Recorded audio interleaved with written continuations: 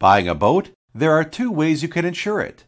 1. If it's a smaller boat with a value of less than $25,000, the best route is to add it to your home or tenant insurance policy.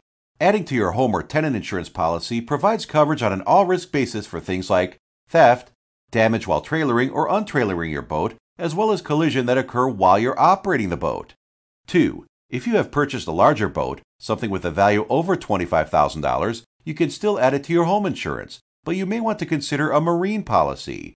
A marine policy covers all the things mentioned earlier and has a few added benefits, such as making a claim on your marine policy will not affect the rates on your home insurance, and vice versa.